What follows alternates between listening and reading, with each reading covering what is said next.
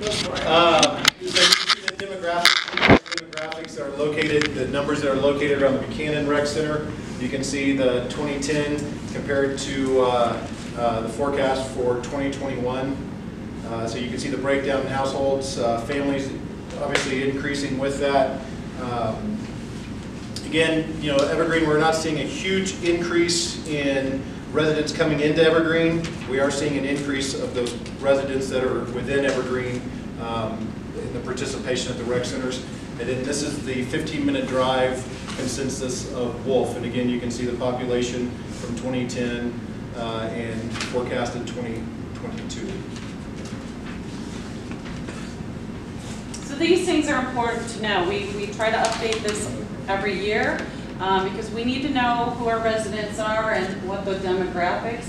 Uh, It plays into a lot of our decision-making from staff level. Um, You know, for an example, if there, there's a kindergarten class that's very large, we can anticipate probably our numbers going up in those areas that, those programs that serve that population, so. Good. You want to be the clicker? I'll be the clicker. You All can right, and I'll be the hopefully non-copper. So getting back to, it's the almighty question, once again, I started out, you know, what, what's our, what are our concerns? Why should people care? Or why are we doing this? And how are you gonna pay for it? Um, I'm not going to say I'm the county assessor expert, but there are tools and instruments that if you want to know specifically kind of some of the projects, um, what your assessment rate would be. There's, there's some sheets that can allow you to do that exercise. But for our purposes today, um, want to give you the rising value market and the lower assessment rate. How many of you, your assessment rate went up, like mine did, almost 70%? So some people are saying, wow, well, my assessment rate went up, so you should be getting more money. There's actually a configuration out there of how property taxes are the percentages, and we share with commercial rates versus parks and rec rate. But just to give you a specific example, on an average home in Evergreen, which was 650,000, um, calculating it by the, the um, assessment rate was 51,740. Take that 51,740, you times it by the mill levy rate, that's $338 to the district. Divide that out, it's about $28 a month that you are paying property taxes, or paying fees to Evergreen Parks and Rec that pays for our facilities, our trails, our parks, and the projects. With that assessment rate increasing, everybody, like I said, just to make sure you have a fair comparison, um, the, di- It's not the assessment rate, it's your home value. So the Oh. assessment rate went down. yeah, so your home value, if they show that, that you have six, hundred, the average, does anybody know what the average home value is here in the district? It's five hundred and sixteen thousand for the homes. But for this purposes, we're using six hundred, about six fifty as this specific example. So district taxes received per household with the recent increase in property value and the new residential rate. Once again, this rate, it dropped from the seven point nine six to seven point two two. Um, so actually, even with your values going up, you're paying currently the same rate to EPRD. What is your source for the um, home values? Where, where did you get the home values? Through the Jefferson County Assessor's Office and the, Jefferson County Assessor provided the home values? the average, and then we're working with George K. Baum on, on the assess, the assessed value. So Brian, you got the clicker, right?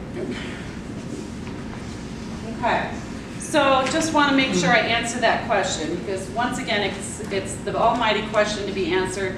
Well, who's going to pay for it, and how much is it going to cost me? Yes. Is anything allocated for commercial taxes or is it strictly on residential?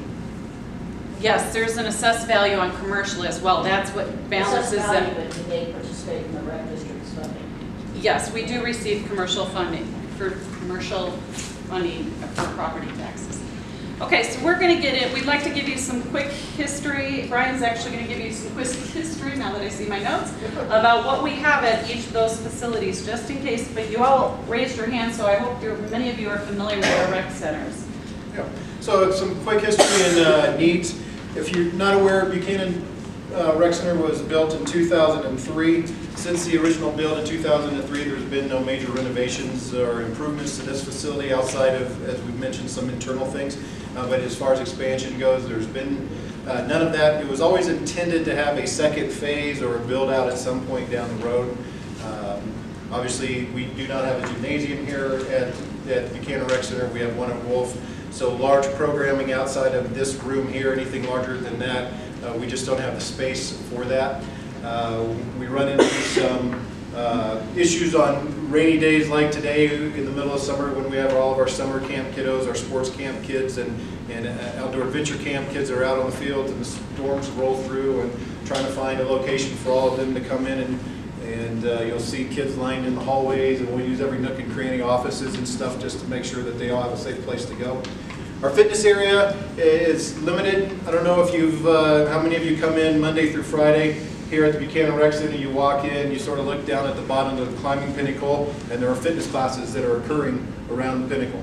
And if you're an instructor of that class or a participant in the class, it doesn't make the greatest of experiences as you're looking around the climbing wall to see what the instructor is saying, and the instructor is looking around the climbing wall to, to see what the participants are doing.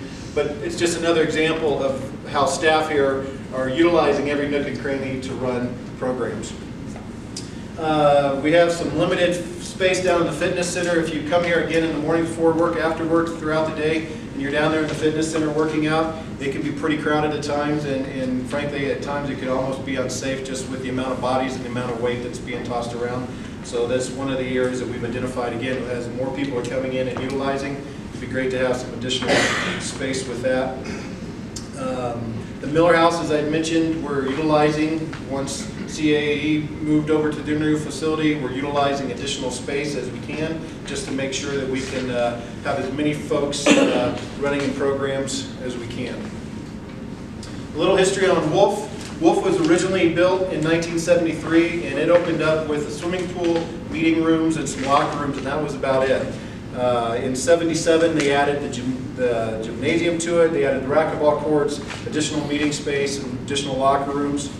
In 85, there was a $500,000 GOCO grant, or excuse me, a Jeffco Open Space grant, and that money went into building the gymnastics studio, and again, some additional locker rooms and, and building that out. And then in 2005, there was a bond that was approved, and about one and a half million dollars from that bond was used to renovate Wulf and again to add to that. So there's been several improvements throughout the years since Wulf was originally purchased and built. Um, That property does sit on Jefferson County Schools property, so that is not land that EPRD owns, but it's actually land that Jeffco uh, Schools own and operate. Uh, We've built up to the back of Wulf, so if you look at each of the builds, it sort of goes up the hill, and now we're up to the point where we're bumping up against Denver Mountain Parks, so we're sort of landlocked with, with that area there. Um, And that's where a lot of of expansion that we're looking at as far as gymnasiums and pools and some of that fun stuff we're looking at here at Buchanan, just because we have uh, the space for that. Our parks, uh, As Ellen had mentioned earlier, if you've been around uh, and driven around the lake, you know that the Evergreen Lake North Trail has been, was closed for a long period of time. It's open. Now it sort of has a Band-Aid fix, so to speak. Uh, We do not have a current long-term solution. We're in the middle of researching that and discussing what that long-term solution would look like, but it's definitely something that we need to uh, keep uh, first and foremost. Um, We have several parks that we'd like to make more ADA accessible and to be able to accommodate uh, ADA and- and meet that compliance. And we obviously know that there's requests and needs for additional outdoor court space, whether it's pickleball, multi-purpose court, um, just places for folks to, to come and play.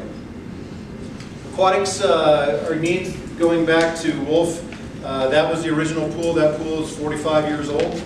Uh, There's definitely pools out there that are still functioning, that are older than that. There's definitely pools out there that are younger than 45 years old that have had major uh, uh, catastrophic uh, failures. And, you know, I I don't have that crystal ball, so I can't tell you what's going to happen next with Wulf, but it's definitely uh, probably coming close to reaching its life expectancy, so we know that we need to address that. Um, We currently have eight lanes total in our district. We have six at Wulf, we have two here, two bodies of water, two totally different usages. One here is a warmer water, family-friendly, shallow water pool. And then we have our, uh, I don't want to say competitive, but it's our more competitive pool that we have at Wulf.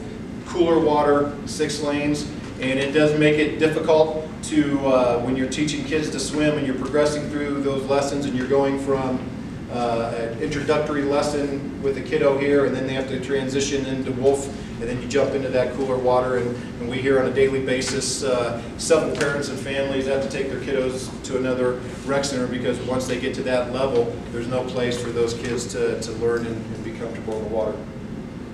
So that's definitely an area that we're looking at, so.